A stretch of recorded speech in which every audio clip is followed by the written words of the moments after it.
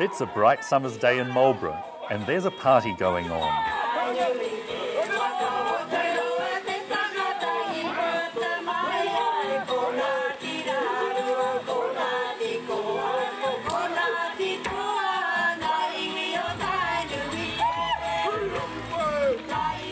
It's the annual multicultural festival, and it's a celebration of 21st century Marlborough and the diverse people who now call this place home.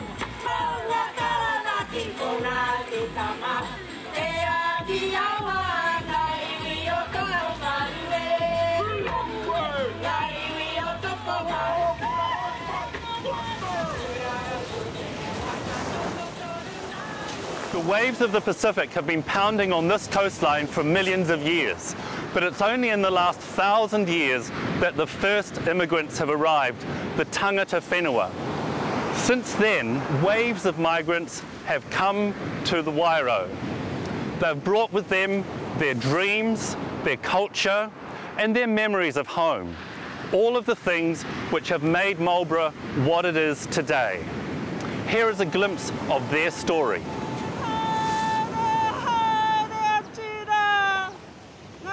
Kei putata wairo is a proverb that's synonymous with the wairo, and particularly this place, the wairo Bar.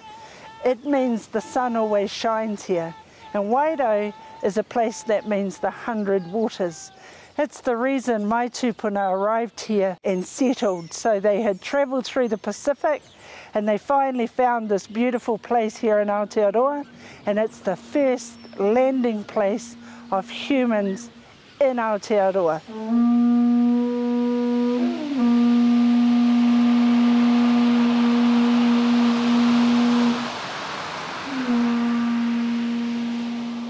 Those first migrants arrived from eastern Polynesia around 1250 AD.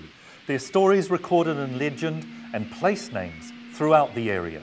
For 200 years, they hunted the giant moa as a source of feathers, food, and eggs, until sadly that unique bird became extinct. Other tribes began to migrate to the area, attracted by its rich food resources and prized minerals like argillite. North Island tribe Ngāti Kuia migrated to Te Hoiere, Pelorus Sound, while Ngāti Apa sailed to Tōtaranui, Queen Charlotte Sound. Rangitane came from the Manawatu and settled on the Wairau, where they built extensive canals and waterways to harvest eels and bird life.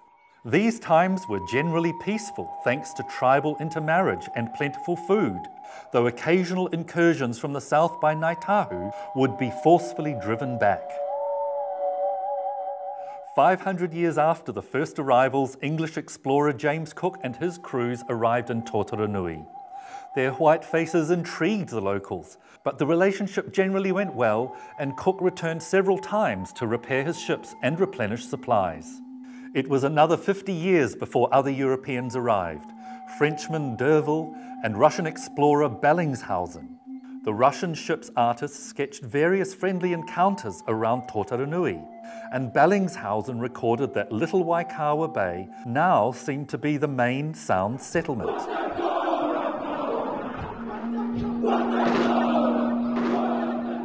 Not long after the Russians left, disaster struck the people of Te Ihu an alliance of North Island tribes led by warrior chief Te Rauparaha crossed the strait with their newly acquired muskets. The locals had little chance against these new weapons and were soon scattered in hiding as the invaders occupied their lands. It was a turbulent time for the region, the impact of which echoes to this day.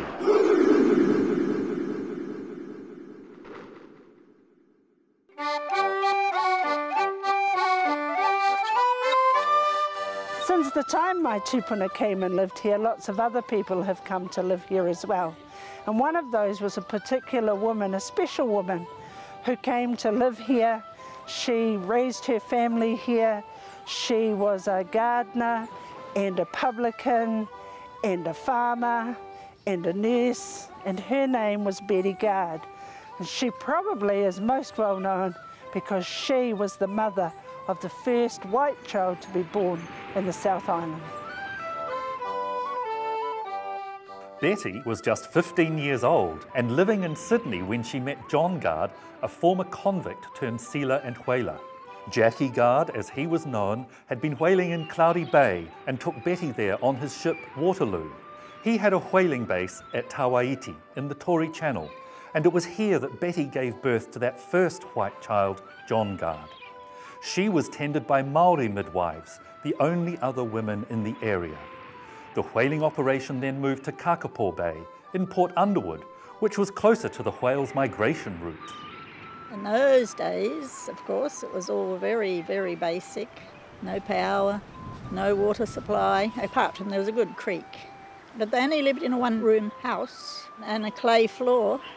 And, and through the whaling season in the winter, I don't know how she survived. It was a tough time for the new migrants as ongoing battles between Ngāti Toa from the north and Ngāi Tahu in the south raged up and down the east coast. But Captain Jackie kept an uneasy friendship with Ngāti Toa chief Te Rauparaha and managed to get plenty of flax and whale oil to sell back in Sydney. It was after one of those trips to Sydney in 1834 that the most traumatic events befell Betty. On the journey back, their ship Harriet was wrecked on the Taranaki coast near Opunake. Betty and all on board made it safely ashore, but a fight broke out with the local Ngāti Ruanui. A dozen sailors were killed, and Betty, along with her two small children, was taken captive. These events later inspired an acclaimed novel, The Captive Wife, by renowned author Fiona Kidman. My book was inspired by the courage and abilities of this remarkable pioneer woman. She had eight children in all, but none of her many descendants would be here today but for one thing. When a Maori warrior struck his mere to Betty's head on the Taranaki shore, the blow was deflected by this, a solid tortoiseshell comb she had in her hair. It saved her life, but some of the teeth remained embedded in her skull for the rest of her life. The rest of the comb was saved to end up as a most unique artefact here at the Museum of New Zealand, Te Papa. Jackie Guard and the surviving sailors rowed all the way back to Port Underwood, and Jackie caught a ship to Sydney. There he persuaded Governor Richard Bourke to rescue his wife and children, and two frigates were dispatched to Taranaki. Thomas Waugh was aboard the HMS Alligator and sketched the action as the soldiers rowed ashore. They dragged two cannons inland and bombarded the hilltop pa, driving Ngāti Ruanui into the bush. Betty and her two children were rescued, young John being wrenched from the back of Chief Oa Iti, who was then controversially shot dead with many of his warriors. The loss of life worried both European and Maori and hastened efforts to reach a more peaceful arrangement, which happened six years later when the Treaty of Waitangi was signed. Betty and Jackie went back to Sydney, where she became something of a celebrity because of her remarkable adventures. But New Zealand had taken a hold on them both, and in February 1836 they left Sydney for the last time and went back to Kakapo Bay.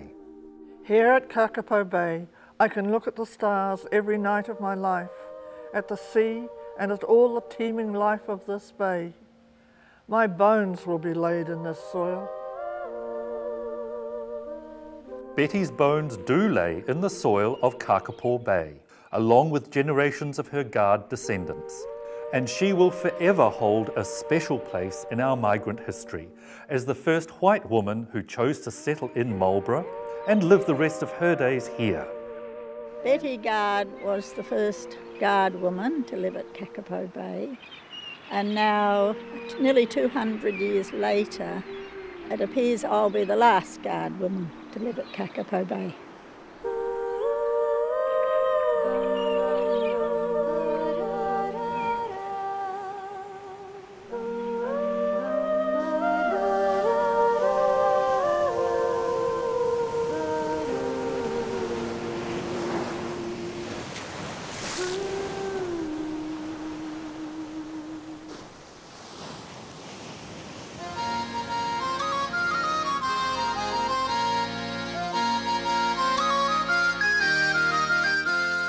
Tory and many other immigrant ships began arriving from Britain, bringing people of every trade eager to build a new life on the other side of the world. The wide, flat plains of the Wairau offered space to grow, and many took the chance to acquire land there by fair means or sometimes foul. In 1843, the Wairau Plain was in much dispute. By 1847, it was purchased by Governor Grey on behalf of the Crown. My forebears were poor farm labourers from the south of England, and they came out with the Nelson settlement in 1842. My grandfather became a blade shearer and moved over here in the mid 1850s. When the Wakamarina gold rush occurred, my grandfather was able to go there and win enough gold to come back and purchase a property on the lower Wairau plain and establish our farm there. The Wairau has experienced all the elements of New Zealand's human history, from moa hunter to Maori, from missionary to musket wars, immigration, settlement and social change. Edwin Fox here in Picton is New Zealand's most famous and only surviving immigrant ship. But curiously enough, the Edwin Fox never actually brought any immigrants to Picton. Only one ship ever did that. And we are all descendants of young John Leslie who came on it. And what was that ship, kids? Carnatic! Yay!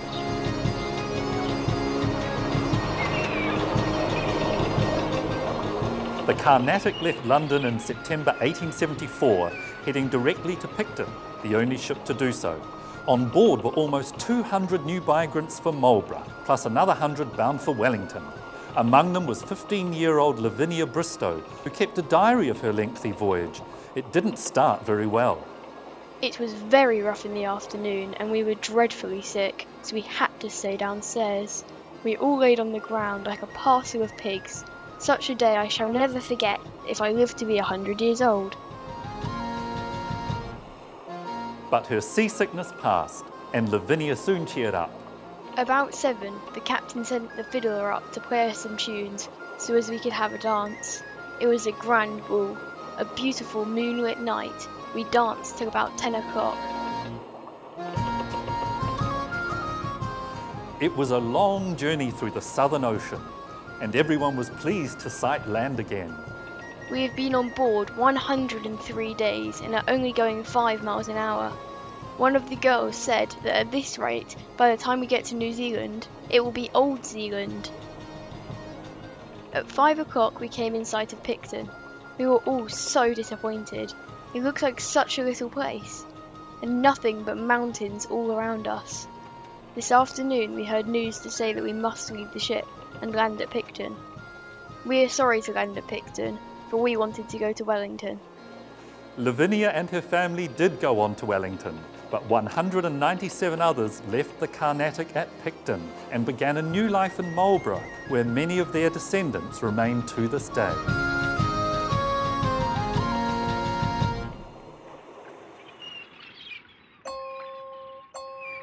By 1848, pastoral farmers from the Nelson area were coming over here and establishing fine wool producing stations in this Wairau Valley and also in the Awatere Valley.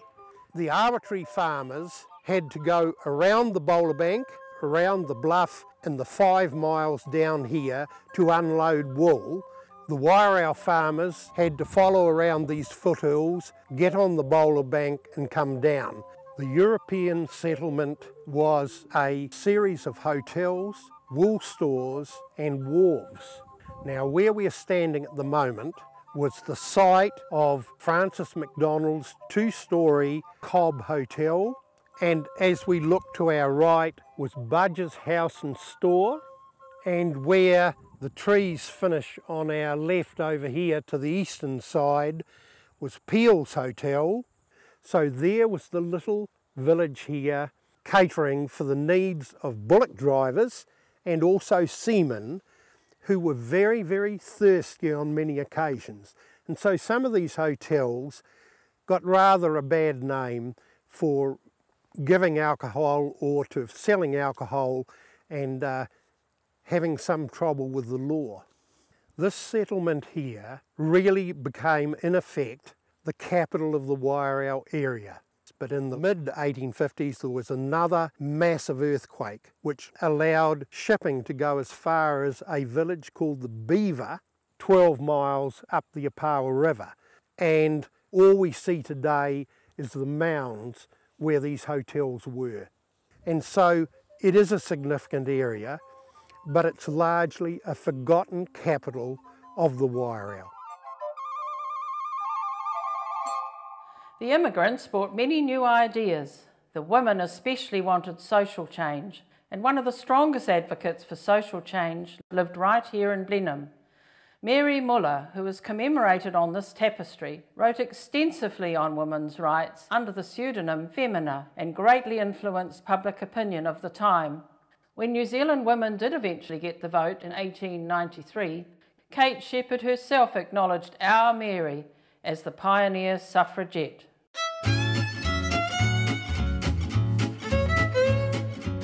Mary was followed by generations of Marlborough women finding their own way to stand tall. The eight Fulton sisters worked on the family flax farm at Bohorley. Only one married, and they all enjoyed the lively Blenheim social scene.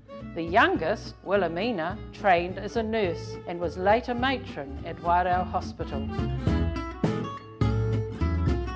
Women could now vote but the effects of war and isolation often left them with many extra responsibilities, especially on the farm.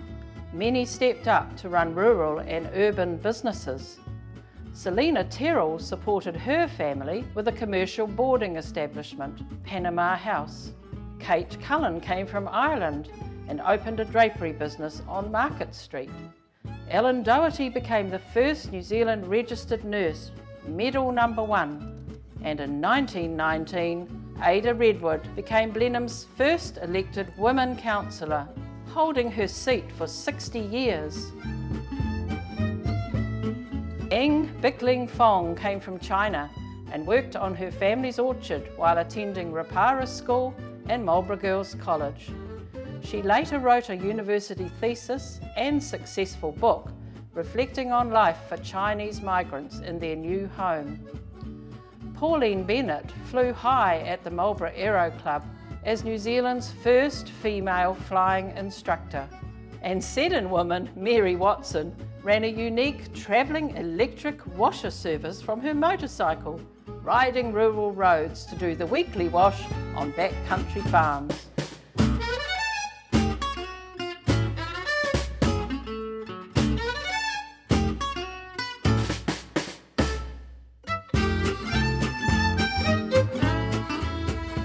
Times have changed, but Marlborough women today follow in their pioneering sisters' footsteps.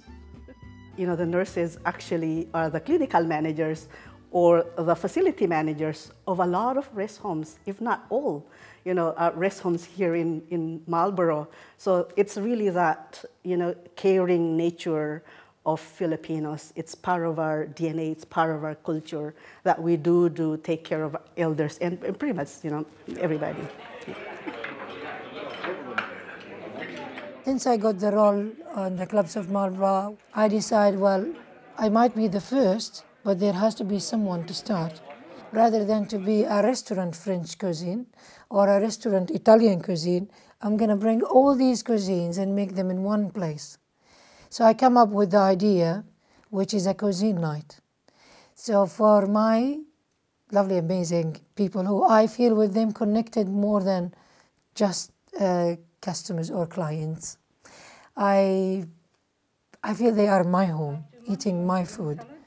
And then you got the rice to help with it. There is a papadom, which is a very oriental things with the Indian food, just as a munch with the sauce. I hope you will enjoy it. Thank you so much. Enjoy. So every time they come, I give them a cuisine. I can see the happiness in their eyes. I can see the clapping, the cuddles I get. It's beyond just eating food.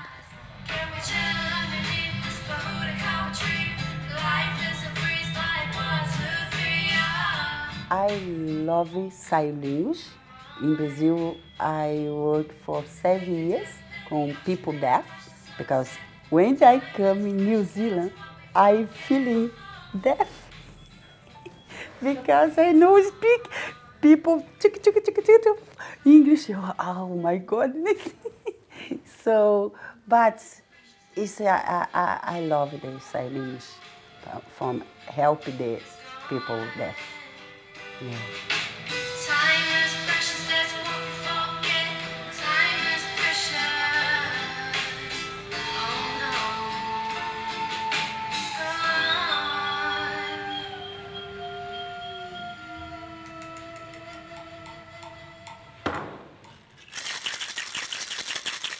I have background of hospitality in the five-star hotel. So when I came over, I got to know Iko. She asked me if I wanted to work with her at the Bamboo Garden. I love hospitality job. I love to say hello to people, you know, be friendly because to do hospitality, you represent yourself because you sell food and, and I'm happy when people come to the restaurant and enjoy their food. I can't imagine myself living other places. My husband said, Shall we go back and live at my hometown? I said, No way, because I love it here. I love people here. I feel like I fit in here, you know, because I love people in this town. Here you are, coffee martini. Enjoy.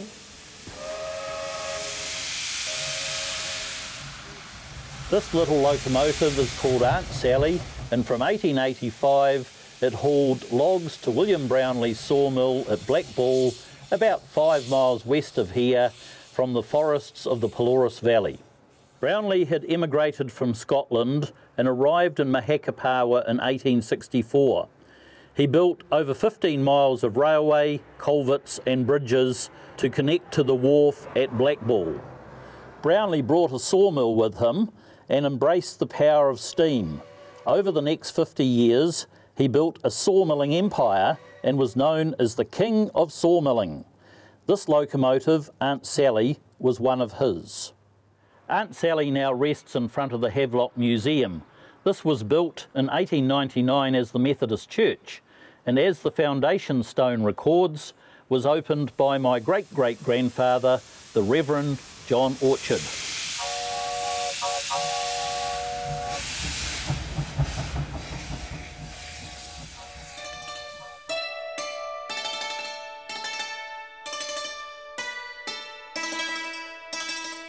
The Chinese came to Marlborough as well, and they brought their work ethic and horticultural skills to establish market gardens and other businesses. In 1900, Pin Chek Yi and family established the Chong Li Fruit Shop on Market Street, proudly advertising as the cheapest shop in town. Chan Bing Tai, known as Charles Bing, set up his fruit shop in Market Street in 1938. He and wife Ping Soon had seven children, who all helped in the business. Eldest son Ian Bing later made history as New Zealand's only Chinese publican when he took over the old Clarendon Hotel in Picton, now the well-known Crow Tavern.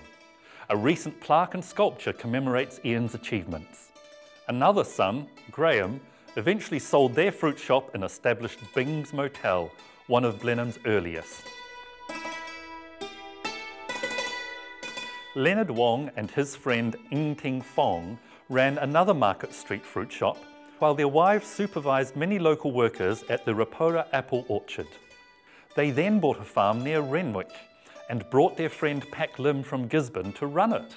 Pak Lim's farm supplied fruit, eggs and vegetables for his brother-in-law Jack Lowe to sell from his travelling country store, and later from Jack's Queen Street shop. For most Chinese, the whole family would help in the business, and it was usually a lot of work. Oh, yes. well, my families uh, in those days, they own a fruit shop and also a market garden. If you just have a fruit shop, you only work five and a half days. Saturday you start to have half the day off and Sunday you have a day off. But if you work in the garden, you know, unless there's a lot of job have to be done, you can have a couple of days off a week. But if you have the market garden as well as a fruit shop, you never have a day off. so I said, gee, there must be an easier way to make a living. so I got my commercial pilot license and then I got my airline license and uh, managed to get a job with Safe Air, flying Bristol uh, and then later on on the Argosy. Oh, it was a big deal then. The Chinese immigrants are celebrated in various place names around Marlborough, and one is remembered in a special way here at St Luke's Church in Spring Creek. This beautiful eagle lectern was carved for the Anglican community in 1890 by celebrated carver and furniture maker William R.G. William was born Zhong Dai Yi in Canton Province and was one of the earliest of the Chinese settlers to settle in New Zealand. His work endures in carvings, tombstones, and in museum collections, including Te Papa and Marlborough Museum. And right here in Spring Creek, we have one of his most exquisite works, this beautiful eagle lectern.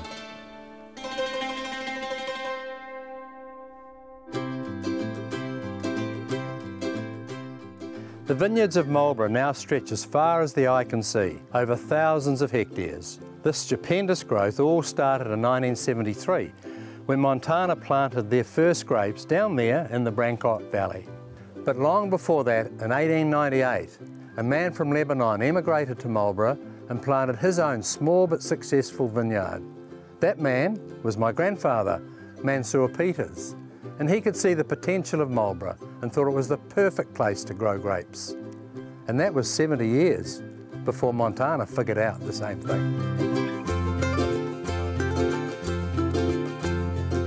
My grandfather Mansour sold wine from his Main Street general store until the 1950s, but he was not the first migrant to make wine in Marlborough. David Herd from Scotland had planted grapes in his aunt's field at Fairhall he made good wine for many years and built an earth cellar to store it in. That cellar still exists, and Pioneer David stands honoured in bronze at our region's airport. 100 years later, another visionary migrant saw the potential of Marlborough and quietly purchased a large amount of farmland in the Brancott Valley. That then became one of the largest vineyards in New Zealand, something like 464 acres it was quite a big thing for Marlborough to suddenly have this huge land sale take place. The, the nervousness of, of, my God, what's happening to, to Marlborough? Are we being taken over by these things called grapes? That man was Frank Yukich from Croatia, and he planted the first grapes there on the 24th of August 1973. That vineyard became the Montana Estate and sparked the huge growth of viticulture on the Wairau and Awatere plains. Frank's pioneering work was later recognised in the Queen's Honours and with the very first Marlborough Civic Award in 1990. This has resulted in Marlborough being recognised as one of the world's great wine regions. Frank, it would be my pleasure if you come up and accept this. Marlborough wine is now a world-renowned industry which dominates the region's economy Visionary and hard-working migrants have played a huge part in its success and they continue to do so. It's something that you just dream of. Since uh, in Germany the, the wine regions are established, the wine regions are set, rules are set, everything is very rigid and traditional and um, any changes take a generation. And here in New Zealand, we can set the rules. Albert Lorenz probably makes the finest wine in Marlborough. These are young vines. This is our Pinot Noir that we just planted in August. And we um, are singling down. This crew has about nine days to single down about 30,000 plants. Even though we have this 10 generations of experience in Sancerre, we're newcomers here and, and we want to learn from you. The Michel family emigrated from Reunion Island in the Indian Ocean and saw Marlborough as complementary to their French operation. I came first here, and that was in 95.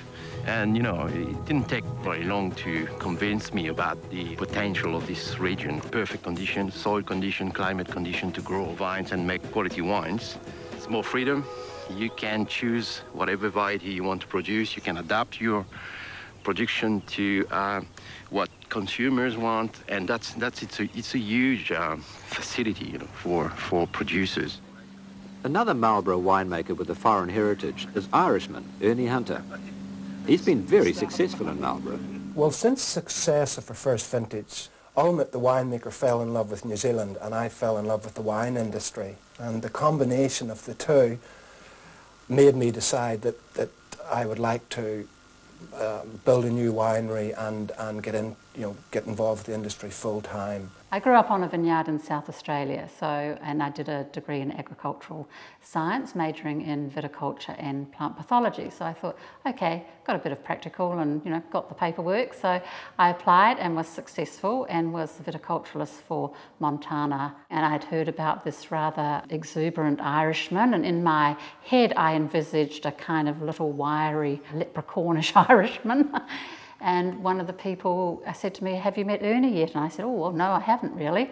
And so kind of looked around for what I thought was Ernie. And there was this very handsome young Irishman over in the corner, nothing about six foot tall, nothing like I'd imagined. So there we are. We knew we had a very high quality wine, but to beat the French and some of the other European winemakers, I didn't think we would have achieved that.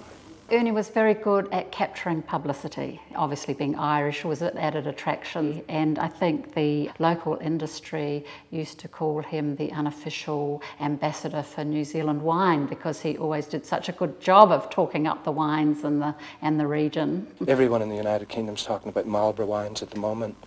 You know, they, some of the top judges um, are you know very excited with not only Hunter's wines from Marlborough, but some of the other wines coming out of Marlborough.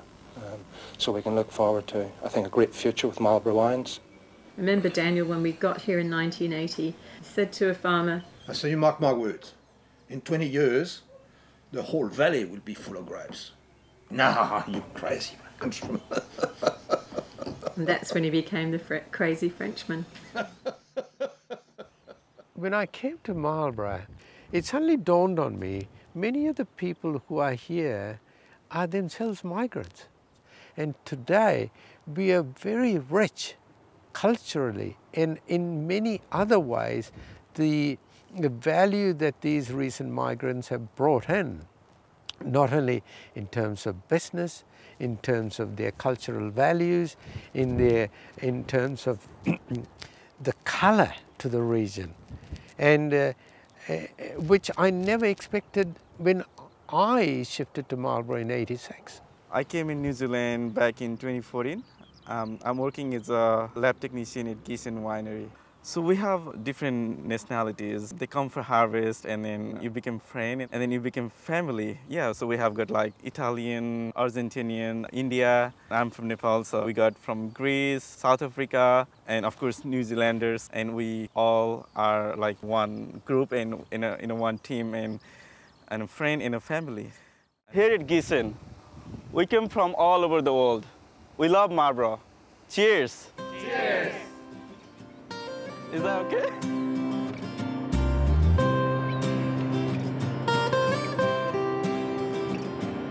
The whale and me, we met at sea. I chased you through the strait.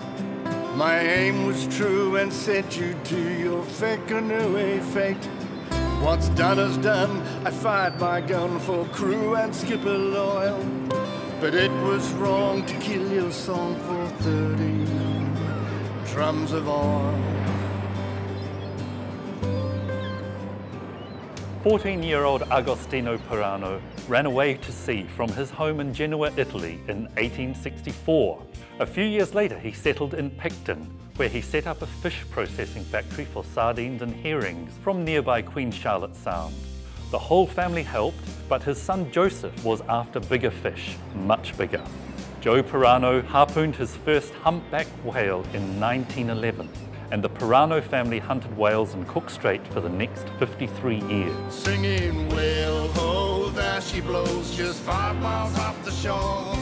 In Jimmy Strait, you met your fate, but we don't do that no we loved it. I loved the work. You didn't worry about what conditions were like because you loved it.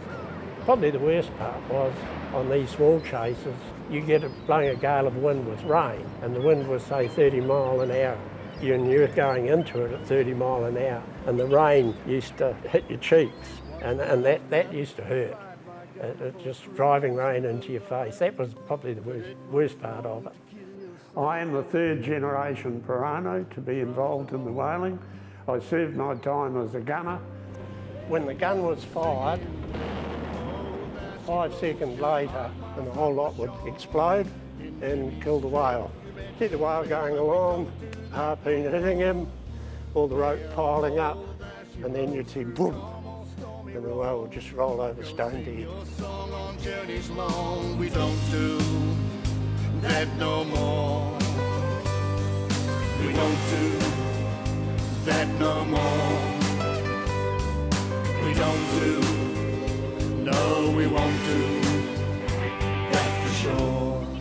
Whaling ended in December 1964, but the Italian legacy is remembered in Cook Strait place names and at the abandoned remains of the once thriving Perano whale station.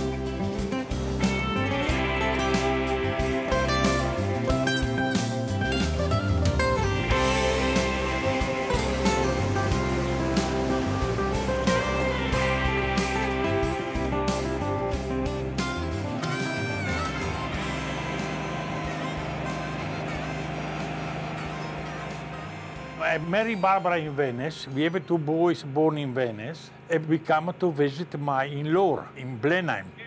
And I saw the fantastic country look like. I said, look, Barbara, we go back now, we work hard. When we save the money to build the house, we come for good. And we come over for good. Eh, and we, we are. Cheers. Unique place, the natural resource that is uh, there. It's just everything. There's no other part of the world that can offer like I offer here. Peaceful, relaxed, everything is comfortable. You feel comfortable everywhere. Yeah, look. Ah. You know what I do in this one? Because you're not allowed to catch it. See, I'm a gentle, gentle, and give it like that.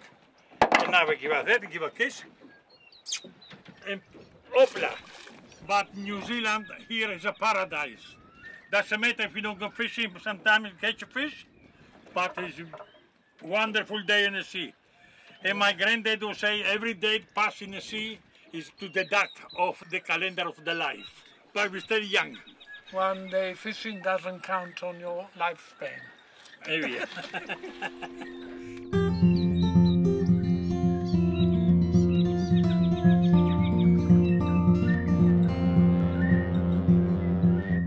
I was uh, born in Switzerland, in Bern to be specific, and uh, we moved to New Zealand in uh, 1997. At, at that time, uh, my wife, who hails from Sweden, and our oldest daughter, who was 11 months old at the time. Yeah. We've been living outside our respective homelands for over 30 years, so over over half our lives. Uh, you know, we're from where we're from, and a Maori uh, mihi.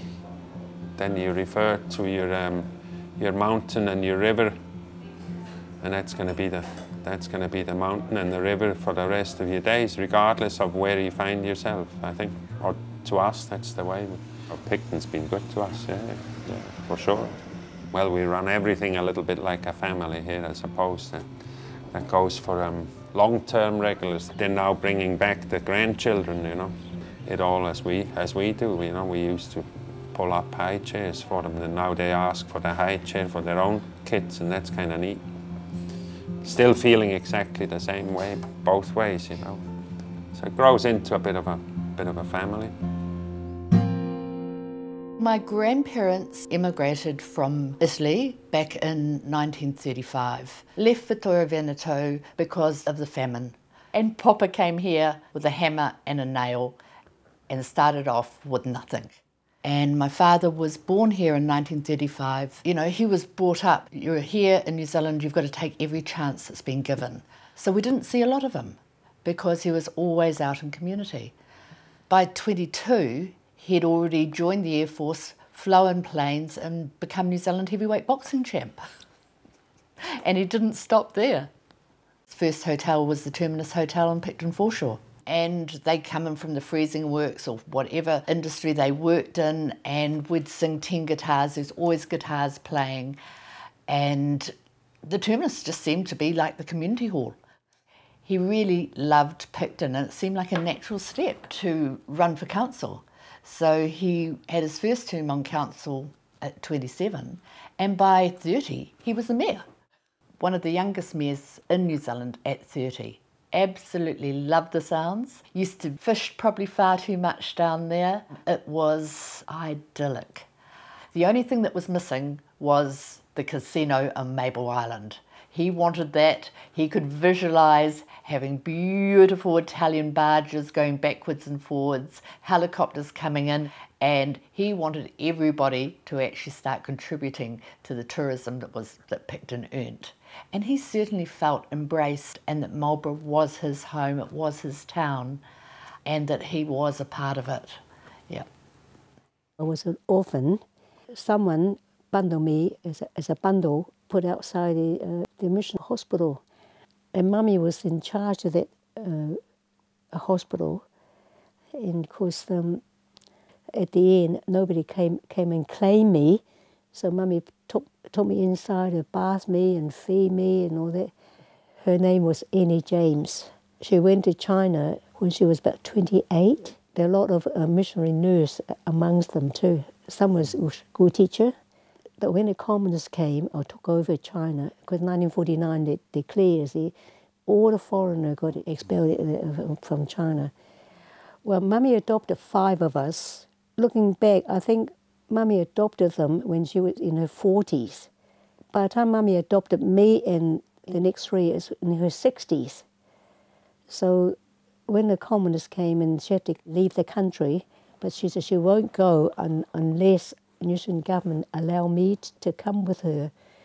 Although being adopted in China is no official paper to say you're adopted. He says I adopted you and that's it. So the only only way I can come is as in a student visa.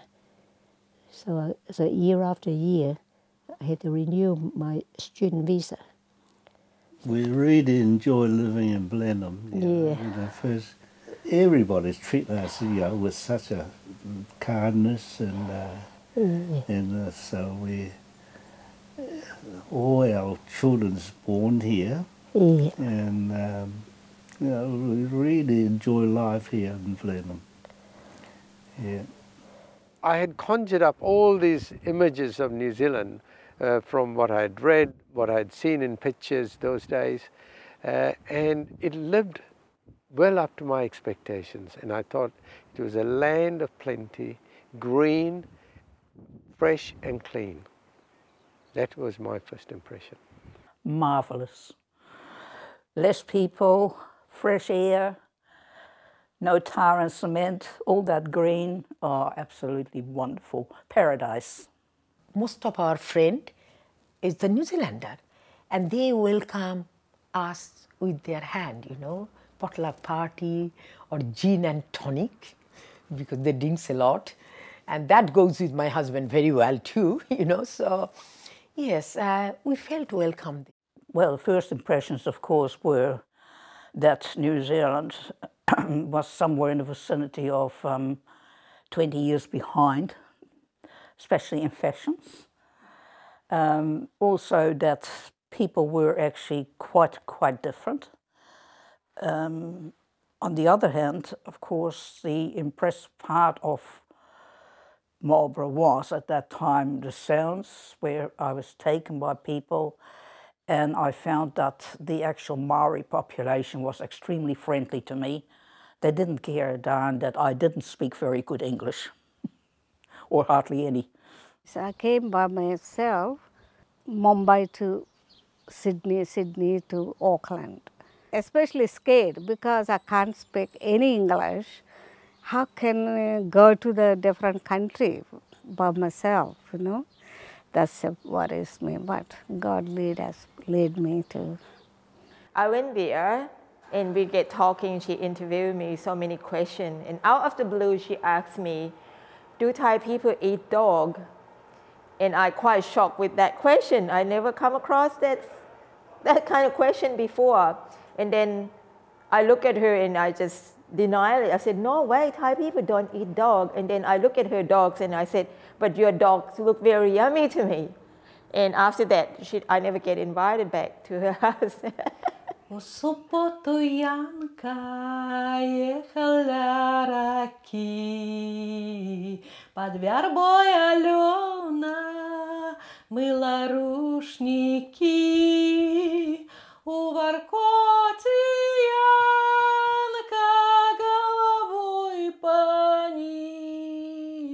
from Belarus. My dad was officer of the Russian Air Force.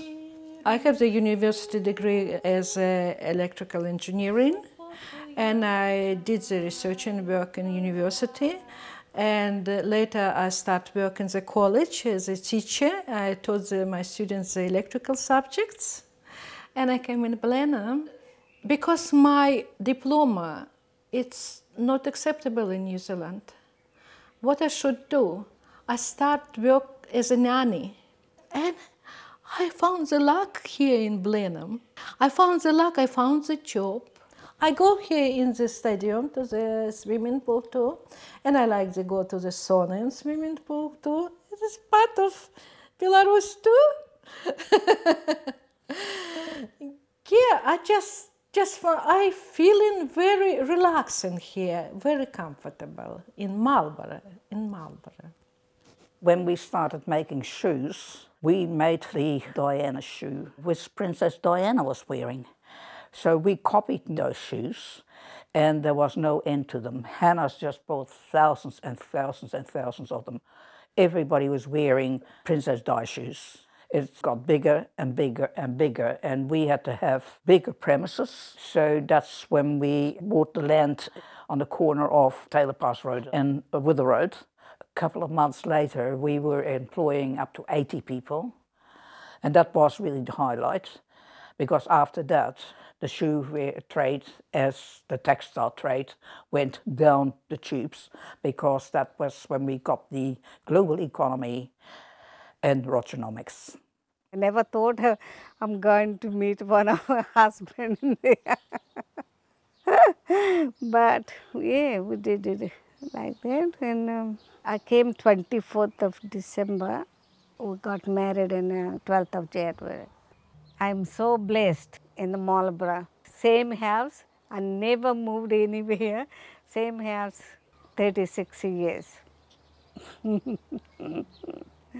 when I had the girls, the triplet, um, some people say, oh, now you are special because you have triplet, but it's not true. I'm special before that anyway. Not special need, but special. Um, then people told me that, oh, now you have triplet, you become famous, but it's not true, you know. Um, people know me because of me, not because, because I have the girls, yeah, so. I like Blenheim the day we came. Fruits is in there. Take the children, pick your own food. You eat some of them all the stain on the clothes. You eat more than you pick. And those good. There's a variety, like a variety of people now here, different multicultural group, and we had a variety of fruit too. I shifted to Marlborough in 86. One of three migrants here, as far as I knew. Of course, as Indians in Sri Lanka, we stood out. And today, of course, you look and see so many different races, religions, color, and it makes it a multicultural melting pot, which is wonderful to see. Like a family, we all together one family. We used to so close each other, Tongans, Filipinos, Indians, Europeans, English, Germans, all Germans so many at that time and lots of people died, but we are very close to each other. Yeah, we are immigrants and we always love our country but i do find here in marlborough and lovely climate and green and snow and uh, rivers uh, and wonderful people and uh, yeah i count the marlborough is my second home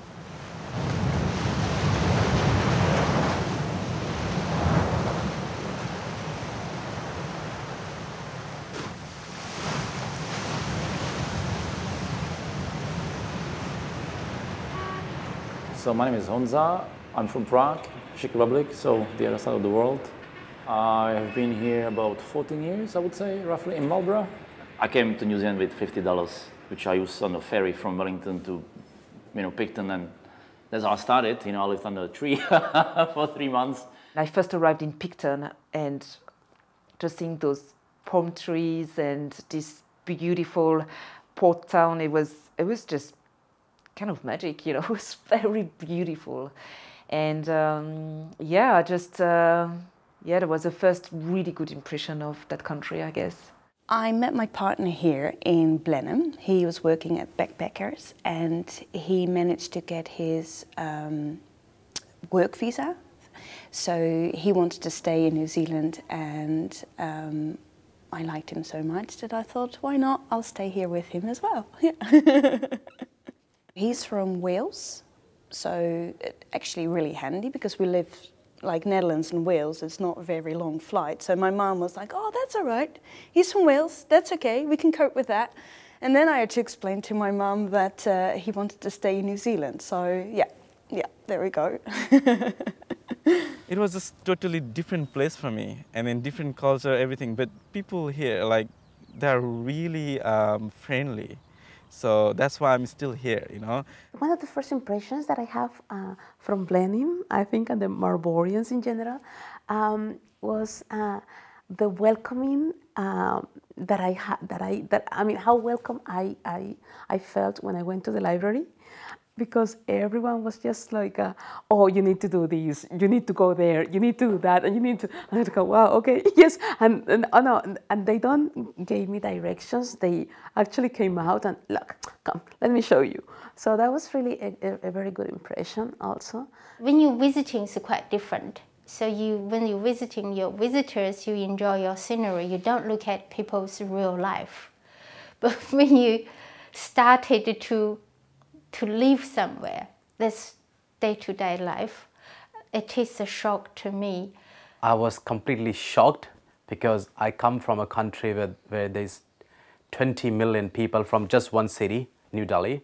And then when I came to Queenstown, I was completely shocked. There was no one around after 8 p.m. Traffic in Manila is really bad.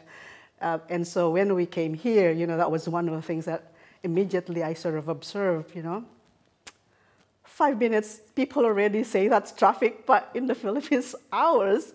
People invite us for, you know, a barbecue at three o'clock. I'm like, oh, what it is? Is it a late lunch? Is it an early dinner?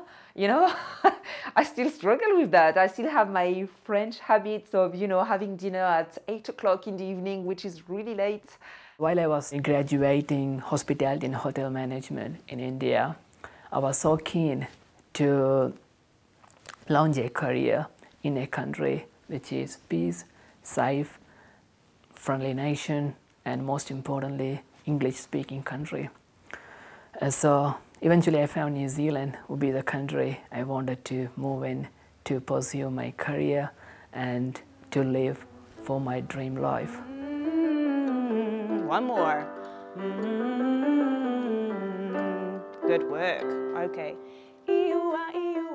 When I try and describe the feeling of immigrating, it's like you've got your bucket and you fill that with everything you love that gives you energy, but it feels a bit like you've got a hole in your bucket. It leaks your bucket if you're away from your family or your friends. So to me, it feels that after a year or a year and a half or two years, you start to feel that it's sipping away all that energy and you feel like you want to go home to fill your your bucket again. And I think that's difficult that, that you can't explain to people that yes, I'm very happy here, and yes, I'm very happy with my partner, I'm very happy with my work, where I live, but being away, far away from your family, you can't go to them and you can't go to your friends. I'm sorry, um, I didn't expect that. It's hard. It's really hard. You know, I need to go back to look after dad. Um, dad is 19 years old. It's a Chinese. That's our tradition. Sorry, I become a little emotional. I need to do it as a daughter. And I've been away for so long, but thinking about living here, um, even temporarily, probably I will come back again. It's quite big for me. It's a home. You, I got friends, family, um, so that it's a home. It's hard. I think it's always hard when you move one country to another country and everything just so new. Um, the food, environment, culture, and people, of course. Yeah. Um, but after a couple of years, I found that it's a bit easier. Like you know, just find more something that you're interested to do, and you make more friends and go out and about and meet some new new people and join with groups and stuff like that. So it's very helpful for people just come into different country. That difficult aspect of integrating, that is a that is a very difficult journey. Being a foreigner is not an easy thing. You always miss home, no matter what. You always miss home. We try to support each other as much as we can. Um, but uh, I think as a family, it's it's hard. Sometimes it's hard because we don't have any family around, and um, I think it's it's a bit hard sometimes to not have you know um, the grandparents just next door to take care of your kids, or having you know aunties and you know around because sometimes you you want to share you know some of your daily life with them and you can't. And even if you have Skype and WhatsApp and Facebook and uh, it's still virtual, you know when I came in in year nine, I faced a lot of bullying and stuff, you know, for who I was. And there was people who supported me. Yeah, boxing helped me and helped me a lot. And I won the South Island title in my weight category. I kind of aim to be one of the best in NZ in lightweight category once one day. Maybe even represent NZ in Commonwealth. We'll see how it goes, you know. It's amazing here actually that uh, and it, all these people made it made it work here. You know, all these people usually are successful. You had to leave your comfort zone. You know, you have to leave your comfort back back home. You came here and you studied. Even with your degrees, a lot of people studied at the bottom. So I got my um, bachelor degree and I did my master degree. And I tried to apply for so many jobs. Now I never heard a thing then I start to lower my expectation to apply for the daily jobs and I get replies that you're over, overqualified. That's very frustrating for, for me. I would think I would have something to contribute, you know, and make my, my life worthwhile here. The first thing you can say is, you're here, you have to respect the rules. You're here, you have to start to thinking about the learning English because the government is going to pay you to learn, not to lie down watching TV, just to learn. And then that is going to be an investment for you to go and find a job. When you find a job, you can be able to buy your own stuff and you are going to be able to buy your house or to rent something else or do something for your children, for education of your children, because as South American, we like to have the children, we have to raise our children and we have they can be educated, not become us. They can to be something else. Language is culture and the other way around. You cannot learn language without. Uh, I mean, there is no language. In a, language cannot, does not exist in a void, in a cultural void. I love the Maori language. It's very similar to my language. Very, very similar. Even the numbers, they say their numbers, they're similar to mine. When we say they say tahiru, watoru, fa, rima, ono, fitu. We say in my dialect, sayo dua, tulu, upat, lima, onom, fitu. In Tagalog, isa, dalawa, tatlo, apat, lima, anim, pitu. So it's so, so close. You know, the, the whanau, so here, like the whanau and the Iwi, Hapu, and all that, we have the same thing. in the Philippines, and I, am sure in other sort of um, cultures as well. But we do have that extended family, and we do take care of our family even when we have our um, funerals, for example. We want, you know, to have a funeral in our homes or in our community, which is similar to a marae uh, here in, in, um, you know, in New Zealand. The first funeral I've been in, and I was waiting, waiting, um, when is the funeral? And then they said to me, well, it's happened. I said, how? Like everybody is laughing and drinking and everybody dressed well and makeup and all these things. I didn't see them happy. To the limit, I said, Are they happy he's died? So everybody started laughing. But then I feel in my culture like we are sad so much that he left, but we never remember the great things he've done in his life. And in New Zealand, it's fully different. And again, it's different between Kiwi and Maori. So I've been you know, thankful and I'm grateful that I've been with these people in their special or um, serious time, let me say, um, because it's opened for me another door of life. Um, not everyone act the same. The community is very helpful. I never felt as an outsider, as a foreigner, you know, at all. Uh, on the contrary, very welcome everywhere. So uh, yes, I just made it my, my home and for my family, for my kids, yeah but I have like more other friends from other nationalities as well. So, um, like you know, it doesn't matter if I have Nepalese friend or a friend from Argentina. Like I'm, they are like a friend, and then friend doesn't have a nationality, you know, or doesn't have a any race. Kapa haka has been a really important part of my life, teaching me about this really lovely culture Growing up, I was really confused because my parents were from top part of India and they moved up to the capital when I was getting born. I have no idea about my culture there, and I felt like I lost it. I have two languages that my parents speak, but I can only speak one of them. I feel bad, but this culture gave me a hope, something powerful. When I'm on the stage doing haka, I feel really proud. I feel the energy, and Kapa haka has been really important part of my life. So I said, okay. One time I said, I have to go to the Maori group because I love to sing their Maori songs and I love to do their dancing. And they sang Pokarekare Ana, so we sang it.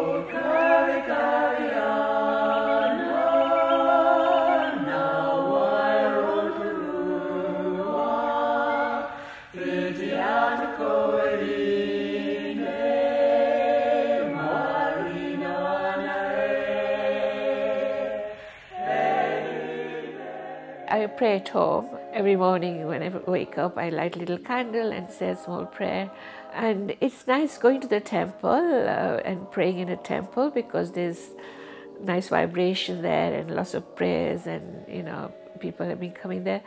But in Hinduism, you can pray anywhere. You don't have to go to the temple. Me as a Muslim, I never faced any any difficulties or never been ignored or rejected particularly whole Muslim community in Blenheim, uh, which is really small here. And we get on very well each other and we spend time sometimes together to celebrate our Eid celebrations. We never differentiate Christian, Muslim or, or Hinduism like Krishna, Hare Krishna, you know. And I had a little altar in one of the corner and I always pray there, you know. I, got, I met people who was Jehovah's. I met with people who is restrict Catholic. Um, Margaret Weston is a Catholic. Um, I meet with people, uh, they are Christian, but they are from the Middle East. I met from people Catholic from Japan, but everyone have his different way of inter interpretation to the religion which I find in the end of the day, they all sit in the same basic point, which is do the things which you are sure that you're going to help yourself and you help the one in front of you to grow.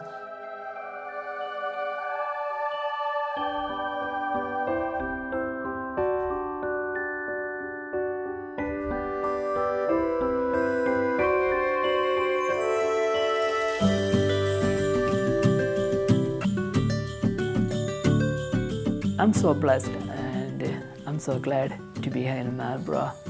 And the people I see from Marlborough, uh, even if at work, gym, outside, church, mosque, anywhere, are incredibly amazing. Always there, been there for me, and I feel like I've been welcomed by each and every one of them. They really helped me make this place home. You could have a big house, a big car, you know, you can have all the money in the world, but sometimes all these things are not important, you know, the material things are not important in life, you know, it's, it's peace of mind, it's your happiness, it's contentment, and a place where you feel happy is more important than, than all these, you know, material things. Family is the core of any society and it's important to maintain family values in order to add value to others. You can choose, you can choose how to, not only to get to know about the Kiwi culture, but it's a fantastic opportunity for you to keep doing that, sharing your culture, because you need to do that. So share, be aware of what is there, learn, and uh, integrate. That's basically it. It making a new place your home, but doesn't mean that I will forget my culture. It's something that makes me who I am. And I want you to remember who you are. Remember where you come from. Remember what your language is. Remember your Iwi. Remember who you are. And that what makes you you. I played my guitar in 1985, the first time I played the guitar in church, and I'm still doing it. So I've been accepted. I'm a local now.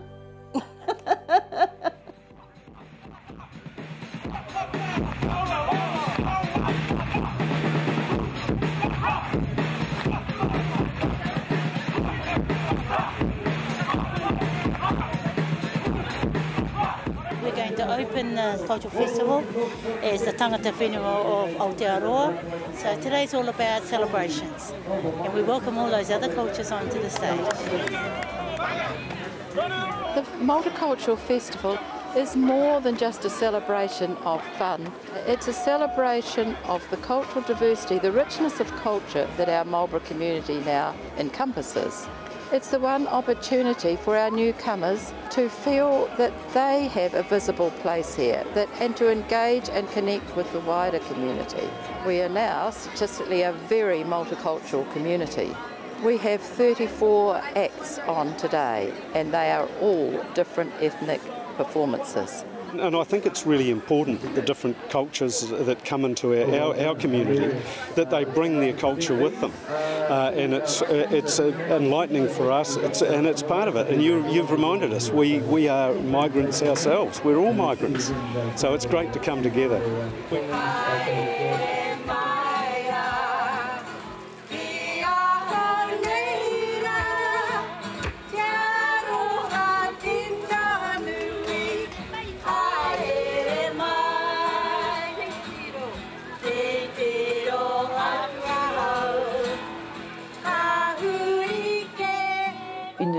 De, cette qualité. Donc euh, je crois que Marlborough euh, sera toujours euh, une part très importante euh, de, de notre vie. Žiju tady asi 15 let v, v Marlborough, předtím jsem žil v několika dalších zemích, tady jsem zakotvil, moc se mi tu líbí, na zdraví. Ik hou van Marlborough omdat het altijd lekker weer is, hele lekkere wijn en gezellige mensen. Eu amo a minha família brasileira e a minha família kiwi. Eu amo Deus e Deus abençoe vocês. Thank you. Obrigada. ஆயிரத்தி தொள்ளாயிரத்தி எண்பத்தி ஆறில் மால்புரோக்கு வந்தோம் இங்கே ஒரு குடும்பத்தை வச்சு நாலு பிள்ளைங்களும் வளர்த்து இப்போ சந்தோஷமாக ஆண்டவன் புண்ணியமாக இந்த ஊரில் இருக்கிறோம் அது எவ்வளோ நல்லது இப்போ சந்தோஷமாக குடியேறி இருக்கிறோம் வணக்கம் আমি কলকাতা থেকে এসেছি প্রথমে আমি ইংল্যান্ডে ছিলাম তারপরে নিউজিল্যান্ডে এলাম উনিশশো একাশি সালে বেনামে এসেছিলাম উনিশশো সাতাশি Y acá en Renwick hay mucho vino cuando ustedes quieran, están más que invitados. Se los agradezco mucho de corazón. Chao. ភាសាអង់គ្លេសគេហៅ plenum ភាសាខ្មែរហៅដូចគ្នាក៏បានដែរហើយនៅទីនេះពិតជាល្អពួកខ្ញុំពេញចិត្តនៅទីនេះខ្លាំងណាស់អរគុណ नमस्कार मलाई मार्बल एकदमै मनपर्छ अ, म यहाँ काम गर्छु र यो मेरो सेकेन्ड घर हो धन्यवाद وبالأردن جسمي موجود بس روحي ونبضي في نيوزيلند يا رب يحميهم إلى التنين وأقدر أعيش وضلني فيهم اللهم آمين اللهم آمين اللهم آمين احفظ هذا البلد ومن فيه اللهم آمين Thank you so much 让我们热爱它，让我们在这儿创造我们的美好生活。谢谢。 Grazie San Pietro che mi lasci qua in questo wonderful paradiso. E qua eh, non mi serve di venire su in alto, resto qua e faccio il mio dovere e aiuto sempre la povera gente. Grazie, grazie, grazie. For over a thousand years, Marlborough has offered all who come here a place to call home, opportunity to grow, and the space to be brilliant. Every migrant, past or present, has added to the colour and diversity of this place. And who knows what a future Marlborough might look like. It will still be a place of sun, space, and opportunity, all the richer for the myriad of places that Marlburians have come from. Because we're all immigrants here, and there are many great stories still to be told.